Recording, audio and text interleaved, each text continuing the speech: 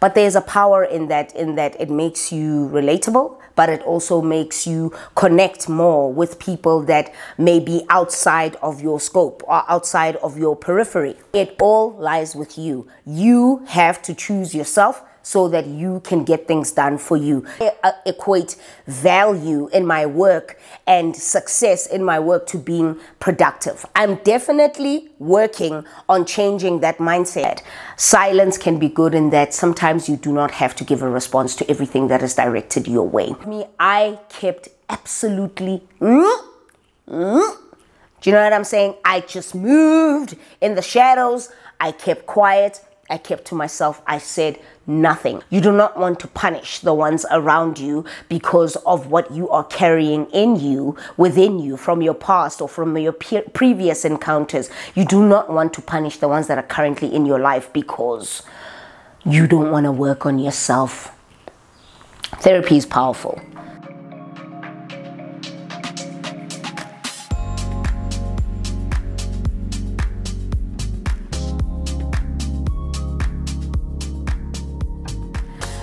Hey everybody, welcome back to the channel. Welcome back to 2024 on the Katleho Mallela channel. Hey, we made it. Hey, we are so thankful to God or to whoever it is who you celebrate as your spiritual higher power. We're so thankful to have safely made it into 2024. And before I get started, I want to share with you all my well wishes, all my hopes for you for the new year so that you may enter into the new year, fulfill your dreams, work hard, stand in your business, choose yourself, do everything that it takes for you to make this here year this new year, this here year of 2024, one to remember. Thank you so much for being here with me today. I'm so, so excited to film this video. It's a little bit of a looking back into the year of 2023 and what it is that I learned from this previous year. And let me tell you, I learned a lot of things. And as you know, I always put them down on my phone so that we can talk through them, talk around them. But um, these are the things that I learned in 2023 that I want to keep with me in 2024 just as a reminder right? I want to look at this video back sometime in this year and look back and say you know what? I learned that last year. I learned that last year I am not going to do this again this year. Okay, I'm not going to do this again. So I hope you watch this video. Share with me some of the things that you learned in 2023 down below. Please do subscribe to the channel. We've got a lot of content coming, some special things coming, especially in the year of 2024. Thank you so much for constantly supporting me. Whether you supported me in 2023, 2022, 2021, 2020, whatever, whenever you chose to support me, thank you so much. Also, do bear in mind that I do have a membership channel. Yes, I do. There will be content on the membership channel as well. But um, let's not dilly dally let's get into the video. Let us look back into the year of 2023 and what I took away from that. Let's get started. So one of the big things that I definitely learned in 2023 was that nobody is going to be like you. No one is going to react to situations like you will react to situations. No one will be as helpful as you. No one will be as considerate as you are. No one is going to be considerate with other people's emotions like you are. No one is going to be be you. And one of the biggest things that helped me realize this in 2023 is that I think for me personally, 2023 was one of the hardest years in the recent maybe four, five plus years that I've ever had to go through. I went through many personal struggles. I went through many financial struggles. I went through many emotional struggles. Um, I, I really do suppose 2022, 23 were the hardest, hardest years for me. And I also realized that not everybody is just going to be in your corner. Nope, not anybody is going to be like you in the sense that, you know, I expected that a lot of people would kind of check in on me as I do them. I expected that a lot of people would stand by me, not necessarily um, take my side and things, but stand by me in terms of support and all of that. But I found myself having to figure it out and do things by myself, figure it out on my own, irrespective of whether you know, I have people around me that I have gone out on a limb to help, to assist, to be there for emotionally, mentally, all of that. 2023, outside of just a few people that are in my circle, 2023 was by far the one year I felt most alone. Like I spent a lot of my time alone in this house in 2023. Was it helpful? Yes, in the sense that I learned a lot about myself. I learned to just man up, grow up, do what you gotta do, bro. Figure it out your own way. Um, I did a lot of things alone. I got into a lot of ventures alone. I had to figure it out, had to figure out how to do it. I did not have answers, you know, starting a business and all of that. I did not have the answers. I found myself having to look at, watch a lot of content online, figure out a lot of things when it comes to, you know, registering a business and doing this, that, and the other. So 2023 was one year where I felt truly alone in a lot of endeavors outside of the small people, the uh, small circle of people that, um, I trust and believe in and and the people that I can lean on. Even with that I just I withdrew from that and I I told myself that you know what? At the end of the day you're going to have to figure out how to do this alone.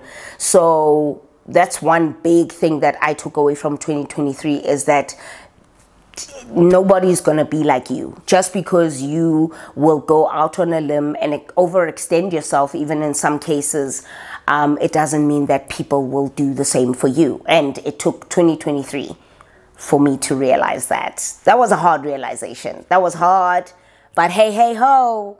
We're gonna move through. We're gonna move through, sweetie. The next thing that I also realized in 2023 that there's a power in vulnerability. There's a power in actually choosing to be vulnerable. As much as I am a person who's in the the media space like I'm I'm online and influencing and all of that but there is a power in vulnerability in that I share a lot of my struggles not completely detailed right but I share a lot of my struggles online I talk about some of the things that I'm going through especially mentally um, some struggles that I'm going through in terms of my high functioning depression, my down days, right? My down episodes, all of that. But there's a power in that, in that it makes you relatable, but it also makes you connect more with people that may be outside of your scope or outside of your periphery and that power also attracts people to you. There's something about being vulnerable online and actually sharing what is really going on outside of the fact that people see you, you know, living nice and and and and looking pretty and attending all these wonderful things and blah blah blah. But it also humanizes you um, the power of being vulnerable also humanizes you to other people. And I think that is a really, really powerful thing because then it makes people open up to you a lot more. I've, uh, 2023 was the one year where people opened up to me. Okay not only just my coaching clients and um, just people who watch me online sending me DMs and all of that, but people just open up to you. And I think they do that because they see a softer side of you that humanizes you to them. Um, so they look at you and they don't think, oh, well, she's an influencer. I can't relate to her. I can't do this with her. I can't. They look at you and they think, you know what? She's a human being too. She goes through struggles too. She goes through difficult times too. And and and there's a power in that. It's at the end of the day you only have yourself. You only have yourself. You have got to choose you, okay? You have to prioritize yourself. If you have to protect your peace, you have to do it. You have to choose yourself so that you can protect your peace. If you have to make sure that things are done, bills are paid, things are blah, blah, blah, you know, like you need to show, make sure that there's food on the table. You need to make sure that mentally you're all right. You need to make sure that you are clothed. You need to make sure that bills are paid. You need to make sure it all lies with you. You have to choose yourself so that you can get things done for you. You have to prioritize yourself. I realize that a lot of the time I I still struggle a little bit with people pleasing and wanting people to know that I'm always there for them and wanting people to be happy, even if it's at the expense of myself, even if it's at the detriment of myself. But I realized in 2023 that people gonna stay choosing themselves. Okay. People will keep staying choosing themselves. People will continue to, you know, do things their way. They'll continue to choose themselves above you, blah, blah, blah. I then realized that you only have yourself. And it's a hard realization to have, especially when you're an empath and especially when you're so concerned about um, the interests of other people, or especially when you're so concerned with the, the state of being of other people, right? The well being of other people. They need you, so you need to help them out, right? A family member calls you, they need you, they need to talk to you, they need to this. Your friend calls you, hey, friend, I'm going through this, they're venting out, they need you. Um, somebody, whatever, somebody is always needing you. Um, I realize that a lot of the time you need to choose yourself as well. You need to be aware of the fact that you also need to be okay. And that means choosing yourself. Whether you like it or not, you just you just gotta do it. You just gotta do it. You gotta do it. You have to do it. Um, and 2023 made me realize that. That 2023 also helped me realize that rest is absolutely mandatory. Rest is not a reward, it's a response. You have to respond. Something happens physically to your body when you do not rest. Cha. Let me tell you. Something happens physically to your body when you do not rest. And so much so because I'm a high functioning depressive. So a lot of the time I find myself just diving into work, diving into projects, diving into opportunities, diving, diving, got, gotta do it, gotta do it, I got the time, I gotta do it, I gotta do it, that I tend to put rest on the back burner. 2023 was the year where rest said, You are not listening. You are not listening. I will force you to rest. So I got physically sick. I would physically get sick. My body would be in so much pain. And I don't understand why is my body in all this pain, right? Stressed out, trying to rest, but not really resting. Then now I'm struggling with insomnia. Then now this, this, that, and the other. I realized in 2023, and I think it's definitely in the last half of 2023, where I realized that I need to preach the message not only to others, but to myself, that rest is mandatory. It is not a reward, it's a response. You have to respond to yourself by giving yourself enough time to rest and take it easy and take time out and do digital detoxes. If there's one thing that I learned in 2023, um, especially when it comes to the resting, resting in terms of social media for me was was I think I started doing a lot of that in maybe the last four months of 2023 where I was just like, I don't have anything to post today. I don't want to post anything today. Even if I did have stuff right in my drafts and all of that, I don't want to post anything today. I don't want to be on Instagram today. I don't want to, um, you know, force myself to do things just because I have a fear of being idle, right? I uh, equate value in my work and success in my work to being productive. I'm definitely working on changing that mindset. However, I realize that because I think this way, it makes me seeing rest as a response or me seeing rest as being mandatory as not a th- rest will be that girl. Uh, rest will be the girl that be like, okay, okay, you don't want to listen to me. You don't want to listen. I'm going to force you. I'm going to force you to listen. And I did. Eventually, I did. The positive and the negative is that silence is definitely an answer. Silence is definitely an answer. Let me tell you something, okay? If you are fighting with someone that you love, right? If you're fighting with someone that you care about, or if someone is trying to run their mouth about you, somebody who barely knows you, right? Trying to run their mouth about you, trying to talk about how you're a horrible person, blah, blah, blah, all of this. Silence is definitely an answer. It goes back to the fact that no is an answer, right? But that's that's not what we're talking about. I learned that silence is an answer and it can be good and it can be extremely bad. Silence can be good in that sometimes you do not have to give a response to everything that is directed your way. Sometimes when somebody tries to provoke you, sometimes when somebody tries to um, um, um, try and get a rise out of you, when somebody is trying to get you to say something, right? They want you to say something. Therefore, they're going to say something that is deliberately hurtful or something that you know at the core of your being that this is not true. This is not true. But they're trying to warrant a response from you. They're trying to drag it out of you. Silence is your best friend. Something happened with me in 2023 where I just chose to keep quiet.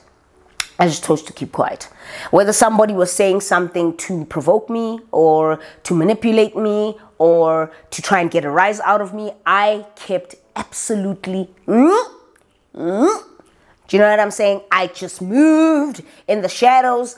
I kept quiet. I kept to myself. I said nothing. And that was a response in and of itself because the, the way that those people then respond towards you when you keep quiet and you choose not to address it is the craziest thing. Then they end up coming back and wanting to talk to you like, bro, why are you quiet? Like, what's going on? Like, is everything okay? All this, that, and the other. All because you just said, mm, quiet. Negative is that I notice that then people will uh, uh, uh, be silent towards you. So I'm an anxious attachment style, right? I'm an anxious attachment style. It makes absolute sense given the fact that I'm an introvert, rats. So I noticed that when people are silent then towards me. So maybe I may have said something, right? So I want us to talk it through. So let's talk about it. Let's properly sit down, talk about it. Let it be a, a genuine conversation. Let us not intentionally try to hurt each other in any way, shape, or form. Let us just try, right? Let us just try then people project silence towards me. Then they give me the silent treatment. And then I realize that silence can be powerful in the fact that it can be negative. It can be used as a manipulative tool. Silence can be used as a way that someone wants to control you. Silence can be used as a way in which, and, and this is not in all cases. Sometimes people need to be silent so that they are also protecting their own peace, right? They could be doing what you do, right? But um, even there's there's a certain point where you draw the line right? There's there's you can't be like okay i'm not going to talk to her for 2 weeks because you're already pushing a certain agenda. You're pushing a certain narrative.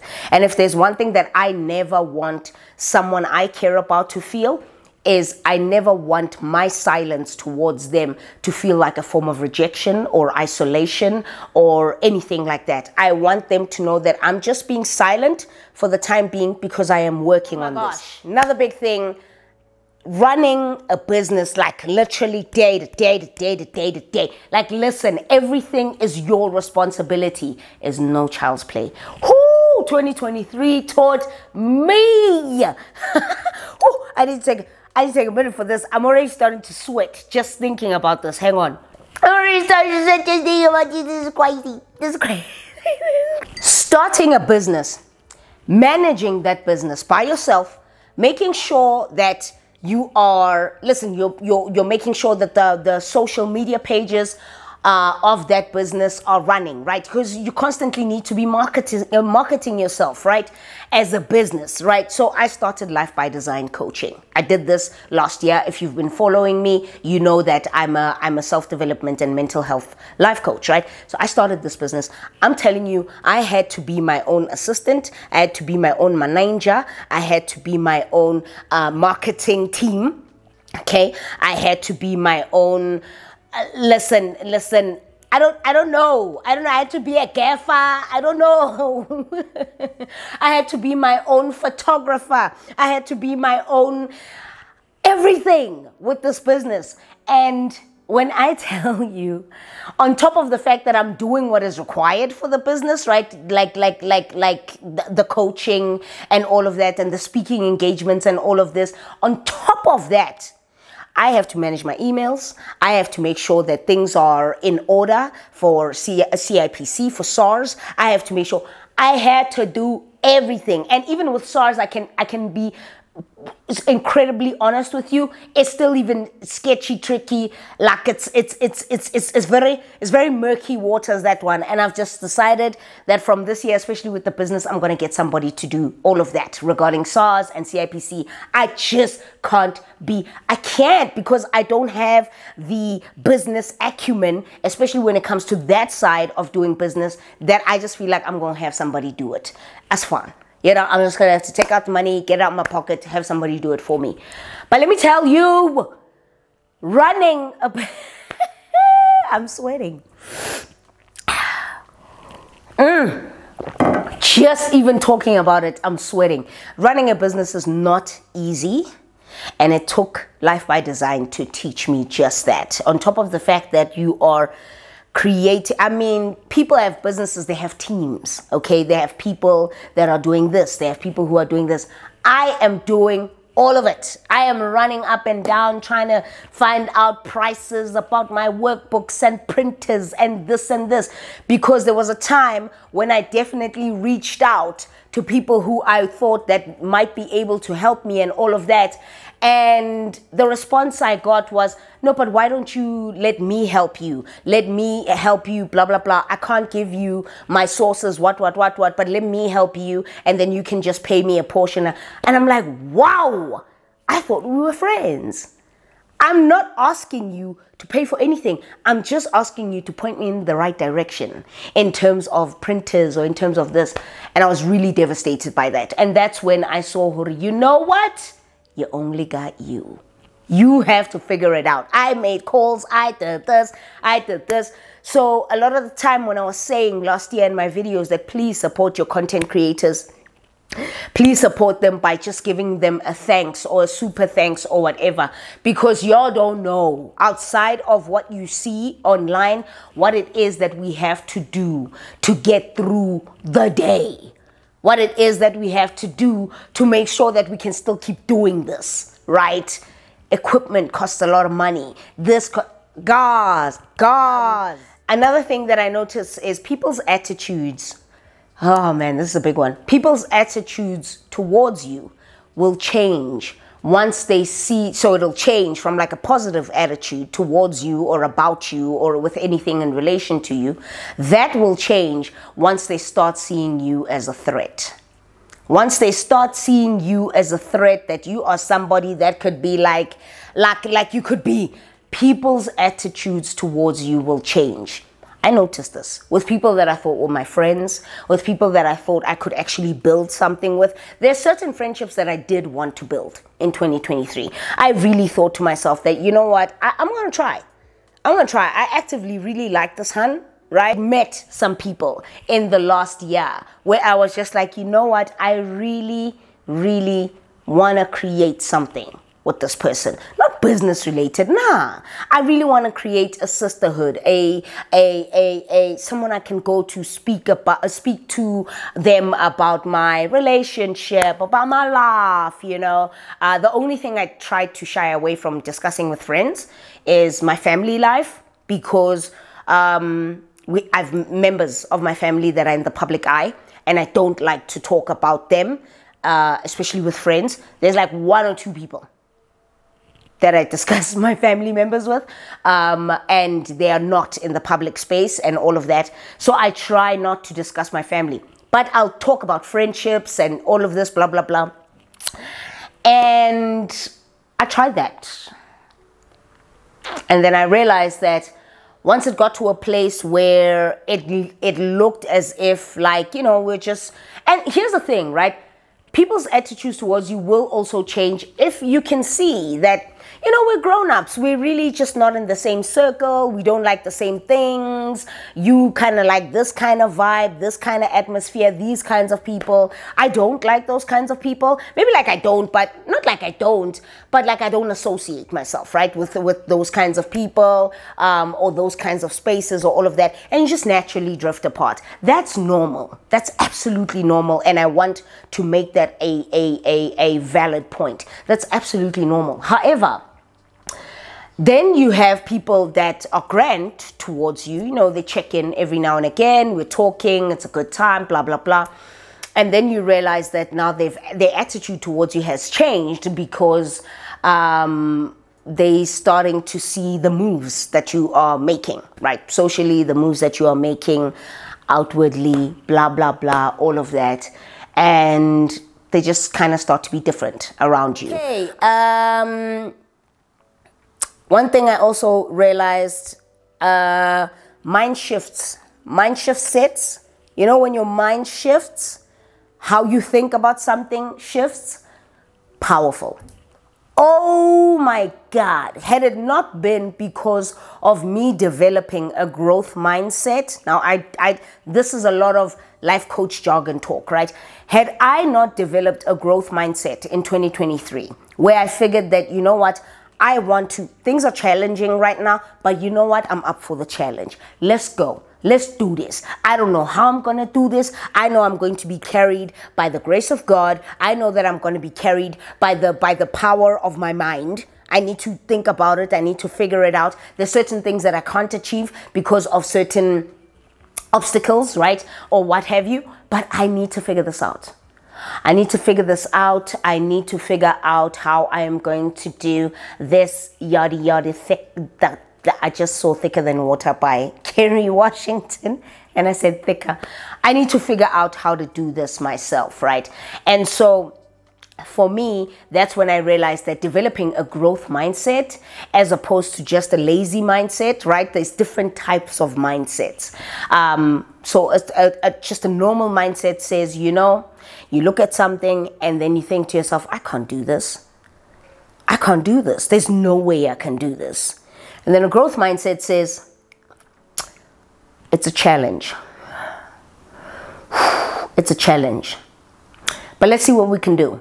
I developed that mindset in 2023 and I talk about growth mindset a lot with my with my um, coaching clients with my clients I talk about it a lot because I always discuss, especially in the beginning of our sessions, that developing a growth mindset is so important because it helps you, especially when it comes to your professional life, your relational life, emotional life, all of that kind of thing. Developing a growth mindset changes your goals, right? It makes your goals smart. I'm talking life coaching jargon. It makes your goals smart. It makes them measurable. It makes them attainable. It makes them what, what, blah, blah, blah, right?